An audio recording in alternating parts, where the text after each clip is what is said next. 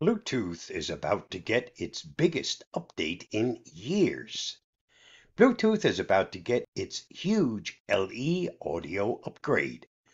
After several years of work, the Bluetooth Special Interest Group says it's finalized Bluetooth LE audio. This is a major upgrade for Bluetooth audio that adds a slew of new features, including a simple solution to whole home audio. The new Bluetooth LE Audio standard includes dozens of specifications, most notably the new LC3 codec, which should supplant SBC. This codec increases audio quality across the board, even at the low bit rates used to conserve battery life in hearing aids, headsets, and other products. If you find this video helpful, don't forget to like, share, subscribe, and get involved. But the new Auracast system may be the most exciting part of Bluetooth LE audio.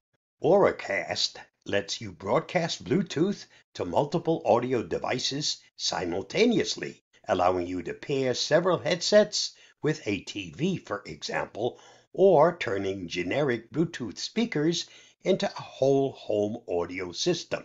Searching for Auracast Broadcast should be easy, but Bluetooth SIG says it's like searching for Wi-Fi networks. You can place passcodes on these broadcasts or even share them with a QR code. Auracast should also grant some behind-the-scenes improvements to Bluetooth, like reduced latency when using Google Assistant with earbuds. Everyone will enjoy Bluetooth LE Audio's unique features, but those who are hard of hearing may see the most tangible benefit. Both LC3 codec and Auracast broadcasts present a unique opportunity to improve the quality, battery life, and price of hearing aids. It should also let users pair hearing aids with multiple devices simultaneously like a game console for game audio and smartphone for podcasts or YouTube videos.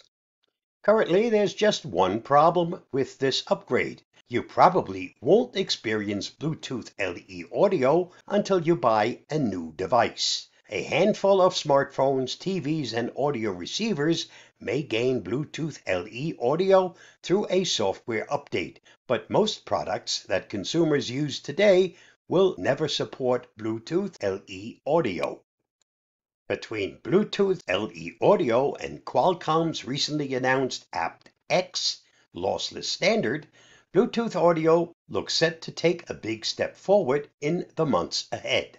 But what's currently unclear is whether we'll need to buy entirely new devices to enjoy the benefits.